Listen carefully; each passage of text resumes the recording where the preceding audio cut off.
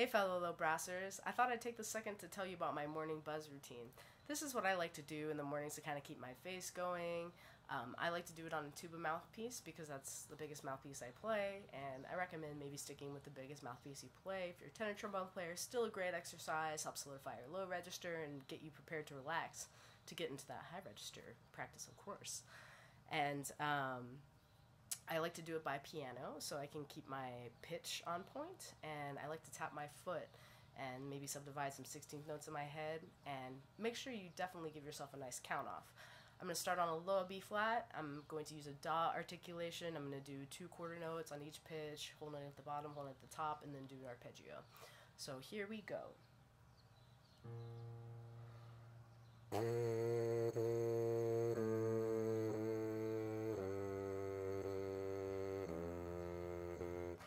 Mm-hmm.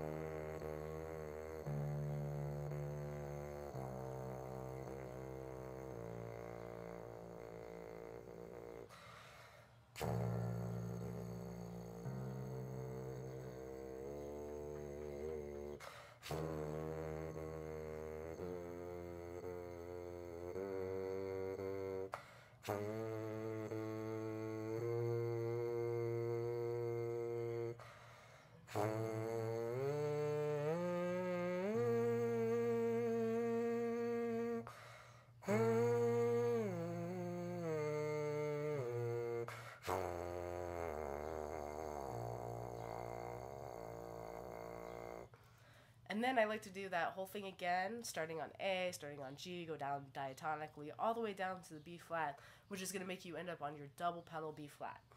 Um, I like to use a little more of my finger to cover the bore, and it kind of helps give you a little bit of resistance, especially if you're not used to going down that low. Um, it's a gr- it's a great place to start. So I'll just do the descending part of that, and you can kind of fill in the blanks from there. But kind of gives you a context of, of where we're going with this, right?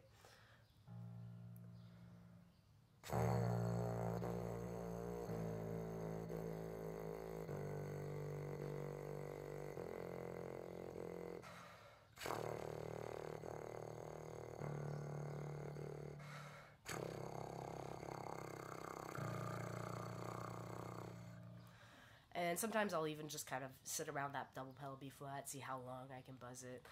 And um, you know, another another part of this is kind of trying to. it's a breath exercise as well. Right now, I kind of have a little bit of sore throat. I'm a little stuffy. My breaths are a little bit noisy, but that's another thing I kind of like to keep in mind while I'm doing this exercise. Um, so anyway, that's my first little set of trombone tips. You know, keep an eye out on this channel. You never know who might show up do this and let me know how it goes for you. I'd love some feedback. Thanks.